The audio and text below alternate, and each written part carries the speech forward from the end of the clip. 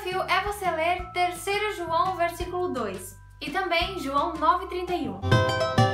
Comece o dia de hoje orando pelo seu coração. Ore por três áreas específicas da sua vida que você quer que Deus trabalhe. Ore pela sua salvação e pela sua comunhão com Deus. Meu amor, que você consiga cumprir o desafio de hoje. Lembrando, se você tiver alguma experiência legal para compartilhar com a gente, é só colocar lá no seu Facebook Facebook com a tag Desafio Diário Cristão Declarado. E amanhã a gente se encontra de novo.